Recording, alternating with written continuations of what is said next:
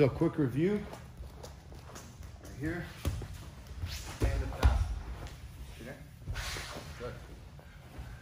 I make my post. Trap his arm here. Look, if he's grabbing here, get rid of the slack, and I go. Okay? Big step here, pinching his hip. Here, one, two, and up. Okay?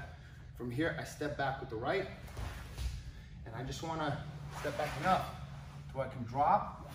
My left knee drops, and I get an underhook here and a cross face here. So I'm doing a basic knee drop pass to the right. Here, and what I want you guys to do is reverse cross face, walking around, walking around, walking around. What'd you do with your hands? Okay, there you go. Okay, and I'm here. Okay, I'm locking the hip, arms, looking for his arms at position here. Here, here, always rolling. Hips, hips. Okay. So that's one option. So you're standing. Okay. The next thing is if I get back stretch this way.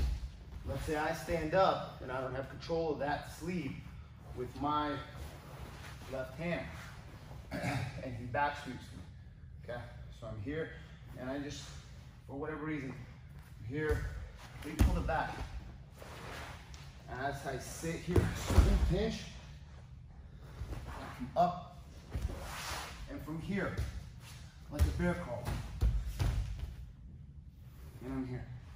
It's here, maybe get an underhook, and I'm always controlling. I don't know where he's gonna go. Wherever he goes, I'm feeling, I'm going. Yeah. Oh, give me a cue. Okay? And then,